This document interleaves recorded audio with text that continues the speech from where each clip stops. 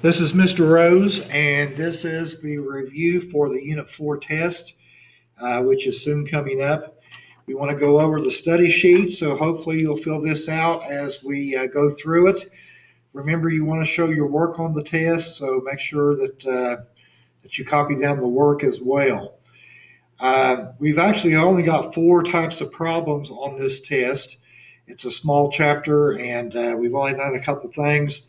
So let's get right to work on this.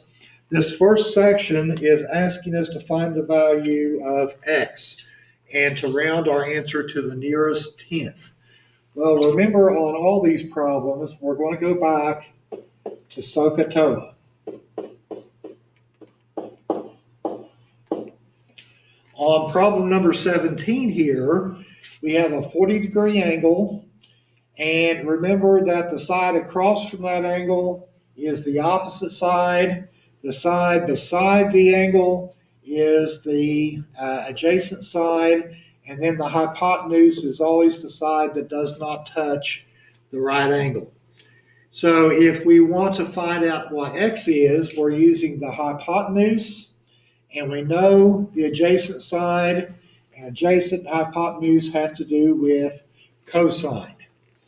So we're going to use the cosine here. So cosine of 40 degrees is equal to the adjacent side, which is 5, over the hypotenuse, which is x. Now remember, this is one of those situations where you have to flip-flop to get the x by itself. So we're going to put the x over here and the cosine of 40 degrees over here on the bottom. And when you use your calculator to work that out and round it off to one place after the decimal, x comes out to be 6.5. Don't forget that your calculator needs to be set on uh, degree mode. So if you did not get 6.5 when you work that out, uh, make sure that you uh, change it to degree mode. And if you don't know how to do that, let me know, and I'll be more than happy uh, to instruct you on that. All right, on number 18, again, we want to find out what x is. They gave me a 25 degree angle. And in regards to that 25 degree angle, this side marked X is my opposite side. The leg that's beside of the angle is the adjacent side. And this side over here is always the hypotenuse because it does not touch the right angle.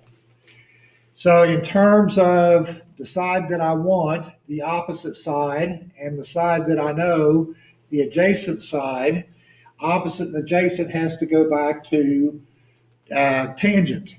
So let's use the tangent function. Tangent of 25 degrees is equal to the opposite side over the adjacent side. And all that I have to do here to get the x by itself is multiply both sides by 9. And when I work that out on the calculator, 9 times the tangent of 25 degrees comes out to be 4.2.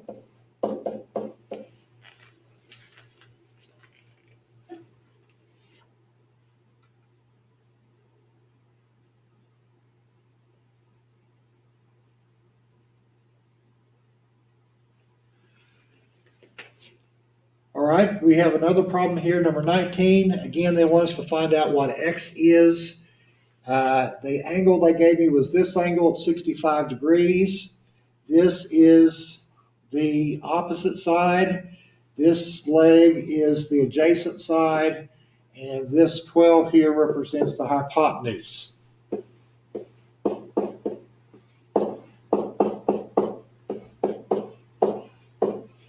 So in regards to that 65 degree angle, I want to know the adjacent side and I know the hypotenuse adjacent hypotenuse have to do with cosine. So I'm going to use the cosine function here. So the cosine of 65 degrees is equal to the adjacent side, which is x, over the hypotenuse, which is 12. And just like on that last one, all I have to do to get the x by itself is multiply both sides by 12. And 12 times the cosine of 65 degrees comes out to be 5.1 you round it off. On number 20, here's my missing side. And I know this side over here, this is the opposite side in regards to this 32 degree angle. This is the hypotenuse because it does not touch the right angle. And this is the adjacent side, which we know nothing about. so I want to know the hypotenuse and I know the opposite. Opposite hypotenuse have to do with sine. So I'm going to use the sine of 32 degrees is equal to the opposite over the hypotenuse. This is another problem where we have to do the flip-flop uh, procedure. So x is equal to 15 over the sine of 32 degrees. And when I work that out on my calculator, x comes out to be 28.3.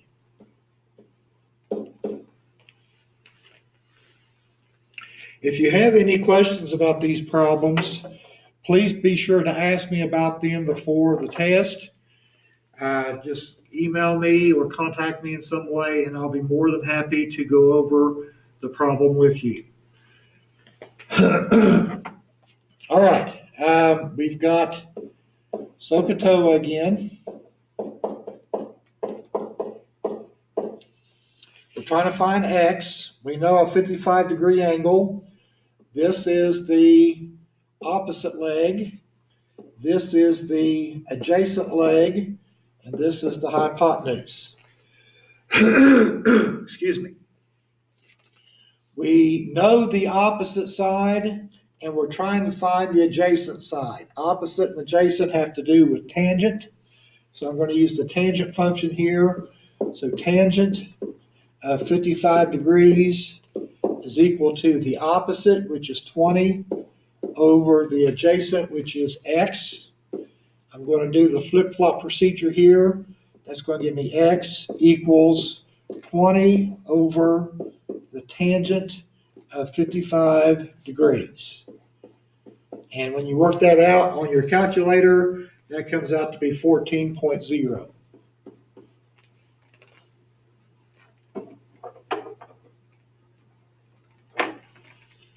And here on number 22, we're trying to find x again.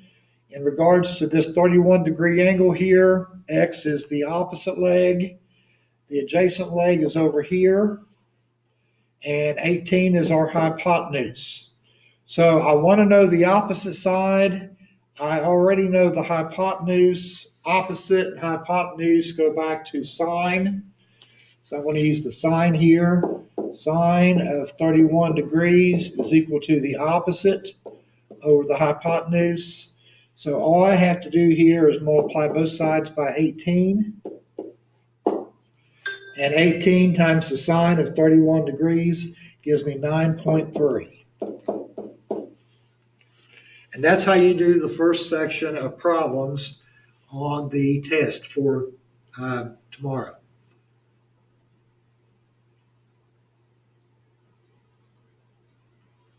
All right, this is another type of problem where we have to use the inverse trig functions to find the angle. It says use a calculator to approximate the measure of angle A to the nearest tenth of a degree. So we're always concerned about angle A.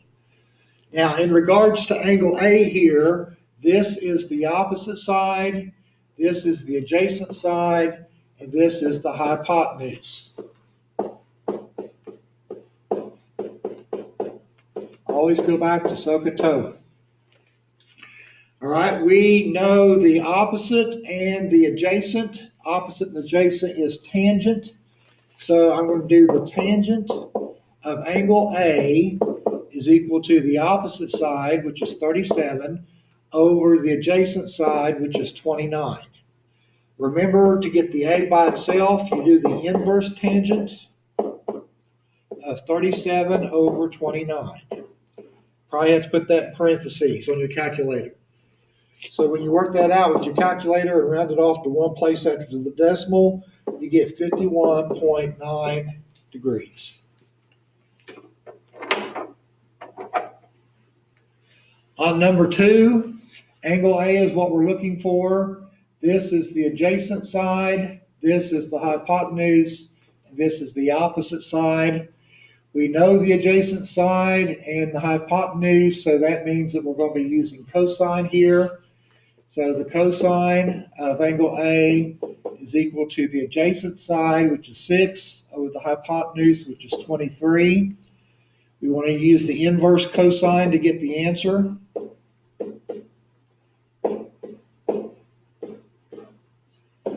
And when I find when I find the uh, inverse cosine of 6 over 23 on my calculator, I get 74.9 degrees.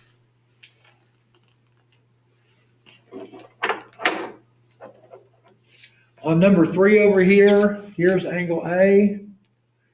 And in, in regards to angle A, here is my opposite leg, here is my adjacent leg, and here is the hypotenuse. So we know the opposite and the hypotenuse. That is my sine function. So the sine of angle A is equal to the opposite, which is 12, over the hypotenuse, which is 60. So we have to use the inverse sine of 12 over 60. And when I work that out on my calculator, I get 11.5 degrees.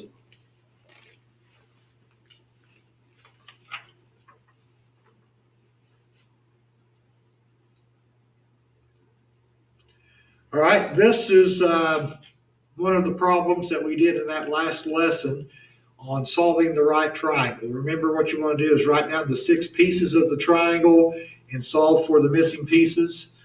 Okay, so on this triangle here on number number 23, we've got the measure of angle A, the measure of angle B, and the measure of angle C. We have side AB, we have side BC, and we have side CA.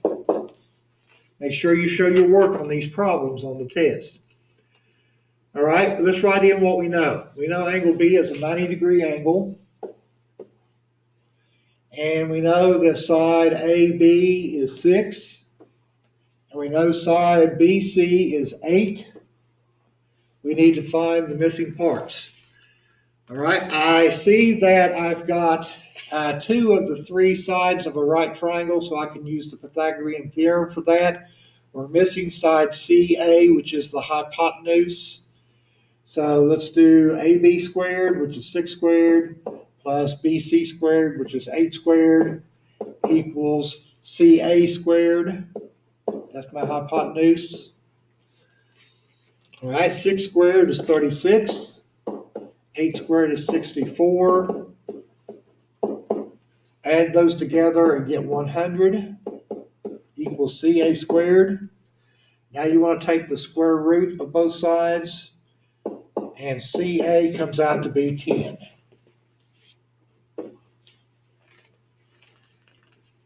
Now, as far as the missing angles are concerned, uh, we want to use inverse trig functions just like we did on those last few problems to find the missing angle. Let's work with angle A here. In regards to angle A, this is the opposite side, this is the adjacent side, and this is the hypotenuse. So I know the opposite side and the adjacent side. So that's going to give me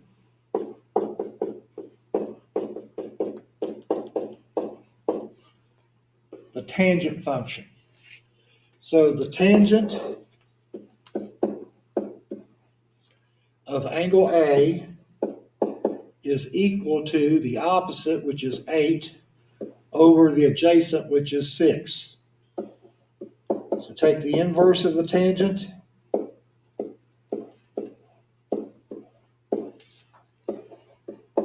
And A comes out to be 53.1 degrees.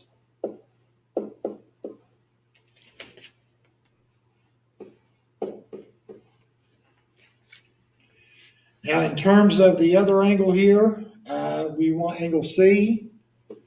Angle C, uh, we know the opposite side, and we know the adjacent side. Remember, those two switch places because we switched angles. So we're going to use tangent again. So the tangent of angle C is equal to the opposite side, which is 6, over the adjacent side, which is 8. So we want to find the inverse tangent of 6 over 8. So C comes out to be 36.9 degrees.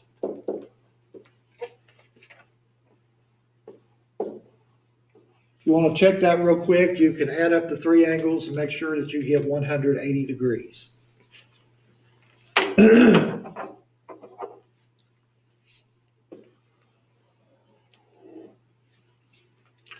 All right, on problem number 24, excuse me, we have three angles, E, F, and G.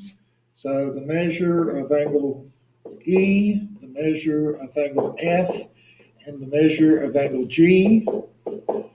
we have side EF, we have side FG, and we have side GE. We know that the measure of angle E is 61.4 degrees. We know that the measure of angle F is 90 degrees.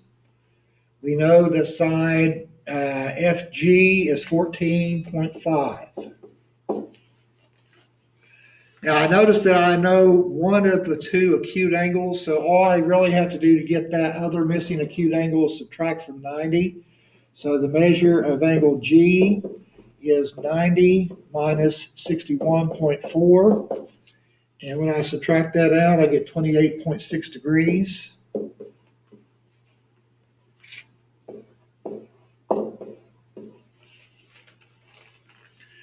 Now we're going to have to use trig functions to find sides EF and GE. Uh, in, and remember, don't use measurements that you have found in your calculations. Use the measurements that they give you in the problem. Uh, so the, the angle that I know in the problem is 61.4 degrees. And in regards to that angle, this is the opposite leg, this is the adjacent leg, and this is the hypotenuse.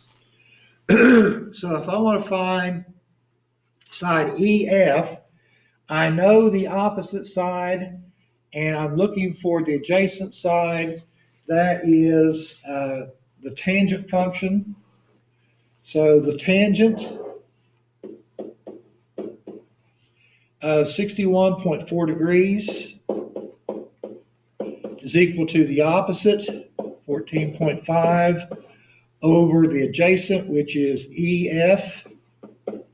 This is a case where we have to do the flip-flop.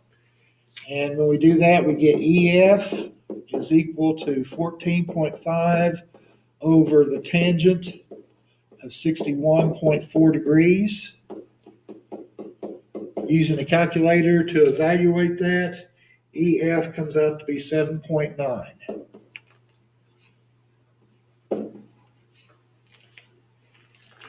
In order to get GE, GE is my hypotenuse so this time I know the opposite and the hypotenuse is what I'm looking for. So that's going to give me sine.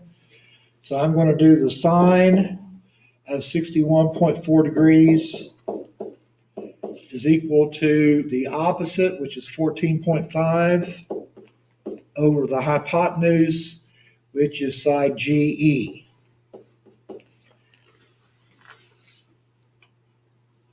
I want to flip flop again. So that's going to give me GE is equal to 14.5 over the sine of 61.4 degrees. And when I evaluate that on my calculator, GE comes out to be 16.5.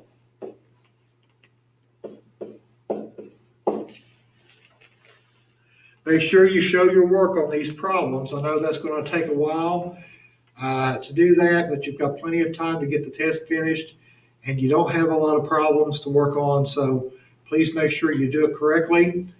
and get full credit for your problems. All right, we have one last section of problems to uh, look at. And these problems are just simply wanting you to write the sine, cosine, and tangent of both angles A and B. So make sure you do both angles. Okay, so in terms of angle A here, this is the opposite side, this is the adjacent side, and this is the hypotenuse. Okay, so the sine of angle A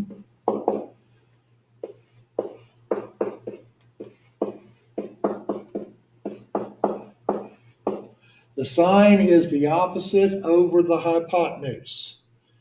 So the sine of angle A would be 45 over 53. Now you want to reduce these if possible. That won't reduce, so that's your final answer. The cosine of angle A is the adjacent over the hypotenuse. The adjacent side is 28, and the hypotenuse is 53. And once again, that will not reduce. And then the tangent of angle A is the opposite over the adjacent. The opposite side is 45. The adjacent side is 28. And that will not reduce. Now, in regards to angle B, don't forget to do angle B. This is the opposite side, and this is the adjacent side, and the hypotenuse is always the hypotenuse. Okay, so the sine of angle B is the opposite over the hypotenuse. That's going to be 28 over 53. That will not reduce the cosine of angle B is going to be the adjacent over the hypotenuse. Here's the adjacent. That's 45. Hypotenuse, again, is 53. Will not reduce. And then the tangent of angle B is equal to the opposite over the adjacent. So the opposite is 28 the adjacent is 45. Now, if you'll remember, there's a quick way to check yourself on these. Uh, the sine of angle A should be the cosine of angle B. And if you look at those two, you'll see that that's true. The sine of angle B should be the same as the cosine of angle A, and that's true. And then the tangent of A and B should be reciprocals of each other, and that's true. So that's a real quick way to check yourself to make sure that you got the right answers there. All right, let's look at number two. In regards to angle A, this is my opposite side, this is my adjacent side, and this is my hypotenuse. All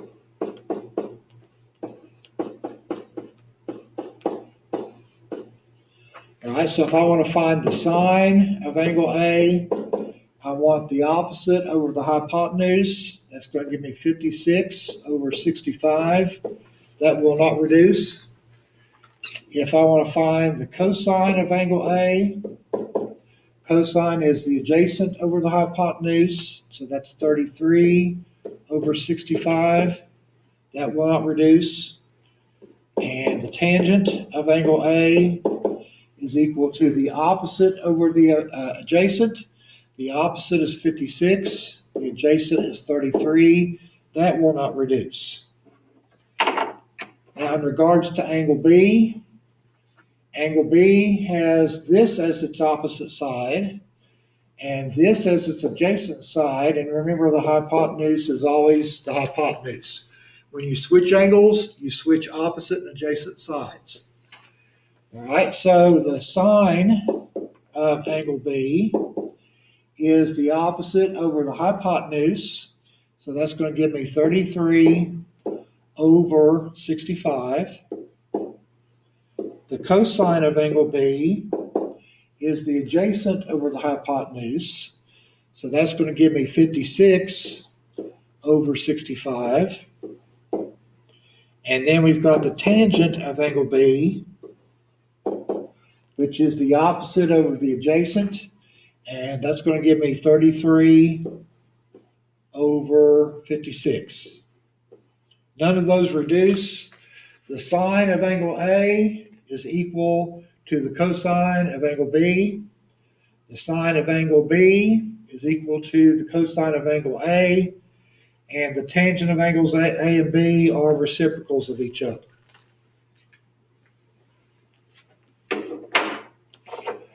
On our last problem here, we want to do the same thing. Start with angle A.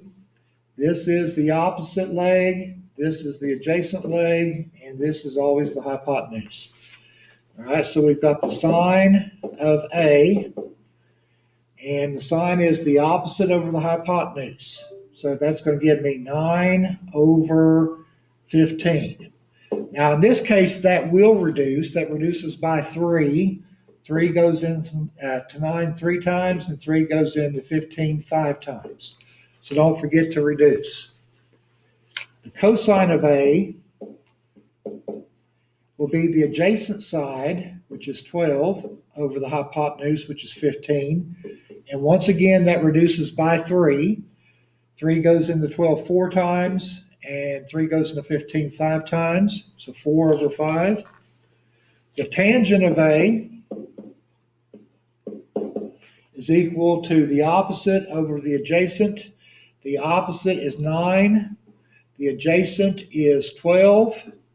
And that reduces by 3. 3 goes into 9 three times, and 3 goes into 12 four times. So 3 over 4. Now, in regards to angle B, this becomes the opposite side, and this becomes the adjacent side. And remember, the hypotenuse always stays the hypotenuse. So if I want the sine of angle B, the sine is the opposite over the hypotenuse. So that's going to give me 12 over 15. That reduces by 3 to 4 over 5. The cosine of angle B is the adjacent over the hypotenuse. So that's going to give me 9 over 15. That reduces by 3 to 3 over 5. And then the tangent of angle B is equal to the opposite over the adjacent. So that's going to give me 12 over 9. That reduces by 3 to 4 over 3. Checking these real quick, uh, the sine of angle A equals the cosine of angle B. The sine of angle B equals the cosine of angle A. And the tangent of angle A and angle B are reciprocals of each other. That concludes our review for the test. I hope that you will use this study guide to study, to look over these problems, to go over them again. If you have any questions, please feel free to contact me and let me know before you take the test. I'll be more than happy to help. Thank you.